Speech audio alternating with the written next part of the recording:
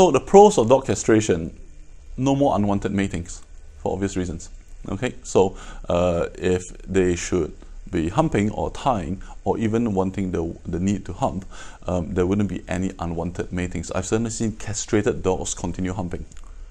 So that's not uncommon. Okay, uh, but obviously no more puppies despite humping. So it's all good. Reduce risk of prostate issues. Okay, so basically the um, prostate is very, very closely linked to the connection between the bladder and the penis. Okay, and uh, there'll be some pictures later. I'll show you exactly uh, where the prostate is and what it looks like and things like that. But uh, certainly reduce risk of prostate issues, and um, I'll come back to that in a bit.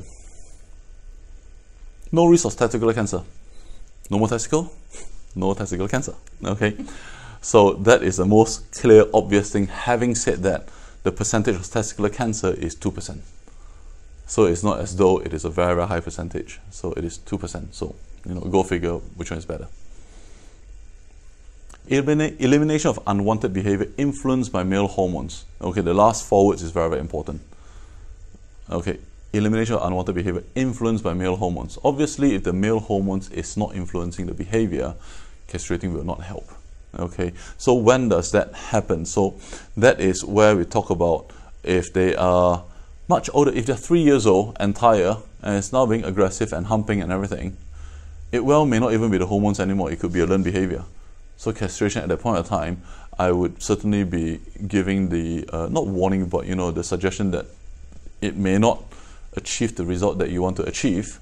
But we're talking about castration for other reasons. It may, it may. I'm not saying it wouldn't. Okay, uh, but it may not. Okay. So the cons to dog castration would be um, no more breeding. So I had this owner who wanted to breed from his dog after he was being castrated because it was now much nicer and better. I'm like, you didn't understand it when we said that we were removing the testicles, but okay, not reverse it like humans. In humans, yes, that's vasectomy, but not in dogs. So yeah, so no more breeding. So it is a one-way ticket. It sounds silly, but we get it. General anesthetic. I know, right? It's like, oh, that's a good point. Do you know in America, only in America, they, you can put in prosthetics.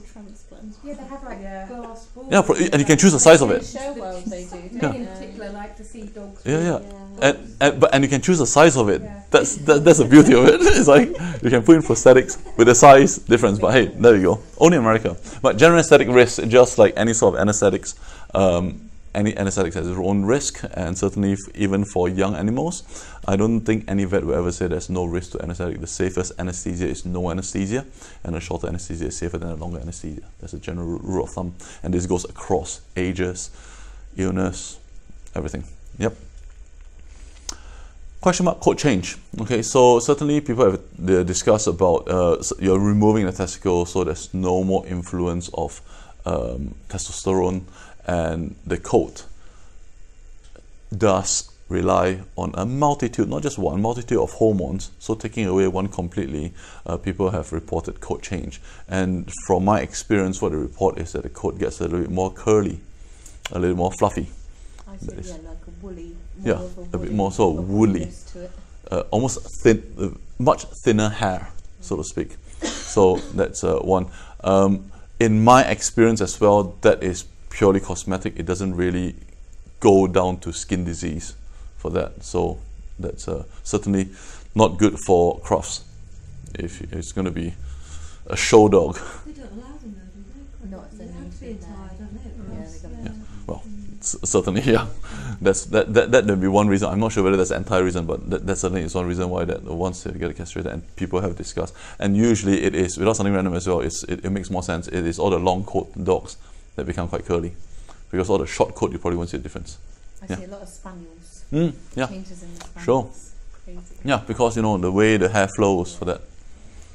Um, makes aggression worse. Okay, this is also quite contentious as well uh, between behaviorists and vets. Um, so vets are saying testosterone makes aggression uh, is what causes aggression in the first place. Behaviorists they are going along the lines of saying that uh, sometimes the dog is confident with the testosterone. You take that away, they become more nervous, they become more frightened. So this is you know, is still out there, and as long as everybody makes an informed decision, and that's where we sort of go into whether we should do it or not, and the risk, the pros and cons that we take. I don't believe there's a right answer to it, which is why I put a question mark there, including being a vet. Yeah, uh, but that is something that we always sort of discuss with behaviorists. It's like they come here biting, then the vet would go, "Yeah, let's get it castrated." And the behaviorists are like, "But I'm working with it. Hang on."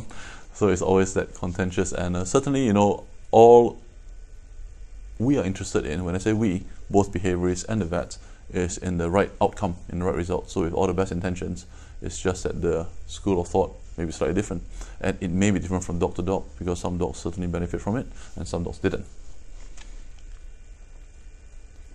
And maybe it's good to point out at this point of time that um, that is where sometimes they talk about chemical castration, whereby they inject an implant called suprelorin, and that can literally is an anti-testosterone implant, uh, and we can see from the effect once you remove the effects of testosterone, what does the dog do? And that could be one way of sort of uh, testing it out without removing the testicles and make it one-way ticket. Yeah. So let's talk a little bit about prostate issues. Okay, so when I, when I say re- reduced risk of prostate issues, the prostate, like I say, is very very closely linked to the testicles, and it is not. Um, it, it is not unusual, or rather, it, it, it wouldn't. It, it's not uh, too strange to to understand that the prostate has a lot of influence, or rather, the testicles has a lot of influence on the prostate in terms of the hormones and things like that. Okay, so one big thing is that there is uh, two particular prostate conditions that happen. One is uh, BPH or benign prostate uh, prostatic hypertrophy, um, and the other one is uh, actually prostate cancer. So we know BPH, benign prostate hypertrophy, it is really, really directly influenced by testosterone because if the animal has that, you reduce, you, you castrate them, it goes back down to size again. So that really is a, a non-problem. Uh, it is purely hormonal influence. Whereas a cancer is cancer. It is a bit of everything inclusive genetic, environmental factors, what they eat, what they're exposed to, and certainly the influence of testosterone as well. And I'll describe that in a bit more detail in a bit. Okay, so let's talk about cryptorchid. So as I mentioned before, crypt means hidden, or orchid means uh, testicle, so it's a hidden testicle. And um, it's usually single or bilateral cryptorchid, which means that single means you can feel one testicle, one is hiding. Bilateral cryptorchid means both are hiding, so you don't feel any testicles at all. Okay, um, and like I said, it's extremely rare for it to be monorchid, and even more rare to be polyorchid. That's usually one of those things that somebody write a paper and publish it for the next 20 years and nobody else sees it. But um, cryptorchid is fairly common. It's an undescended testicle, more prone to development tumor. There is a reason why the testicles are outside of the body. Okay, so basically for the physiology in the testicles itself to produce sperm, to, to, to produce testosterone, the function of it, it needs to be a lower body temperature compared to the core temperature. That's why it's outside the body rather than inside in the middle uh, in the hot body. It's outside where it's cooler. Then that can actually uh, allows its normal function.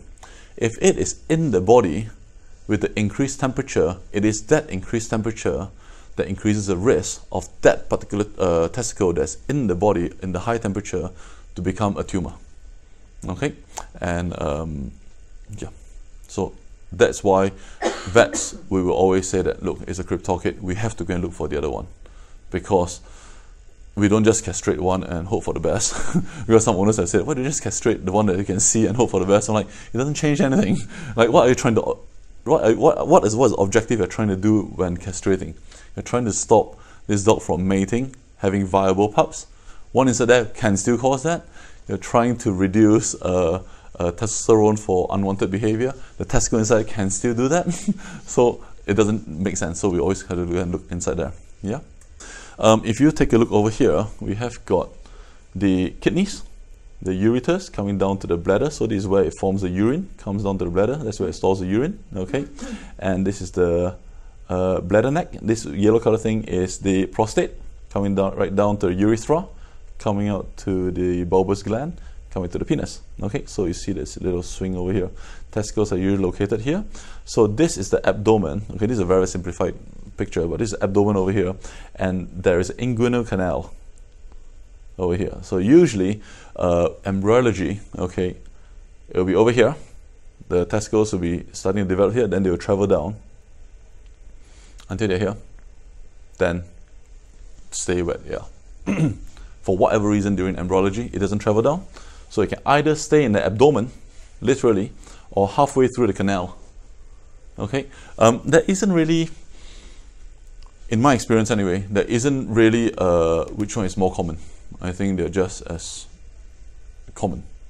So, and what happens is that sometimes when we are feeling for the testicle, then you'll feel left and right of the penis, and you can feel it over there. And that's because it is in the inguinal canal. So that is quite lucky. It's not down, but it's just there. So it's quite easy to remove. Uh, but if it is an abdomen, it literally is an abdomen. So you have to go and look for it. And there's a whole different ball game. Yeah? Literally. Pardon the pun. I told you there'll be jokes. okay, so that's what it looks like. Okay? Testicle over here, the left testicle in the scrotum. Okay, the right testicle in the inguinal canal. Random fact, it usually is a right that's cryptorchid if there's only one. Obviously, there's both, is both. I think it's embryology. The way the left goes down first and the right follows. And the right don't follow all the way, then the right gets stuck halfway. But usually, in my experience, I'm always taking out the right one. Yeah, then the left side. But hey, there we go. Fun fact. um, so sometimes when they lie down, ready to be uh, ready to be anesthetized, then you can feel it. Then you can actually see it and, and you can feel it. There's oh, is there? Because sometimes when they're standing up, when they're still conscious, it is uh, they're actually quite tense, or they just sort of suck it in, or you, you just can't feel it. Not as obvious. So we never really commit to it to say that um, it is definitely abdominal because we cannot feel it. So we always give ourselves, being that's typical, like lawyers, no, a little bit of leeway. Said we may get lucky when it's lying down, if we just relax everything, then the testicle may just pop out to the surface, like so. Then it's very easy. Castration, one incision here, another one over here. So just slightly more time because there is two two incision, but at least you don't to look for it. It's just there. Yeah, so sometimes you can see that. So this one, interestingly, one castration site here possibly felt something over here. so did one here. Actually, no, it's just a bit of fats. so they had to go in the end to look for the other one. Okay? So it does happen. It does happen. I mean, no nobody's perfect. You're feeling for a bump. And it's like, that feels like a bump. What are you going to do as a vet? you know, are you going to explore that bump? Or are you going to go straight in the abdomen saying that that is fat? How brave are you? so you just have to go and explore, or, or you can start putting ultrasound and all the sort of things. It's like okay, um, where where does it stop? So the simplest way is take a look, and certainly if it's inguinal fat, okay, it's not testicle, close it up again, then go inside it. Because the testicle can be quite small, can be very very small. Like the normal one is this size, a cryptorchid because it's not developed properly before it became a cancer or tumor, it can be like a proper one third the size. It's just a little blip, it's just a little bump, and they're usually much, much smaller. It's not easy to find. And certainly, I myself, uh, I, put, I put my hands up, you know, I felt a lump there before, and I was speaking to another, my senior vet. I was like, okay, there's a lump there. What do I do? I think that might be it. And I said, then he was like, yeah, try it. But it was actually the, just a fat. So we had to close everything up again. Then we went into the abdomen and found the other one there. But what's the alternative? Go straight into there. So it's tricky. It's tricky. So yeah, so I can totally appreciate and sympathize with this particular case with this vet over here. Yeah. So what we do now is that if it's abdomen, okay, we do keyhole. Okay, because comparatively, instead of this long wound over here, which you have to to open up to find out where it is, okay, when we when we use keyhole, we can actually go through with one little tiny port of a five millimeter hole. Okay, so what happens is that if you can imagine, you put in the pot, okay, and you look for the testicles. You see the testicles is just over here. Then you bring the testicle out. Then, when you lift the testicle up towards the skin, then you can make an incision on the skin and pop the testicle up. And then you can take it out, castrate it, and put it back in again, rather than making one big um, sort of an incision. So uh, that is sort of a modern technology, and certainly uh, because we do keyhole, we have done quite a few of this before. It just it's it's just less traumatic on the dog having a big wound, so to speak. And um, this is sort of what you see inside there. So you can see the testicle.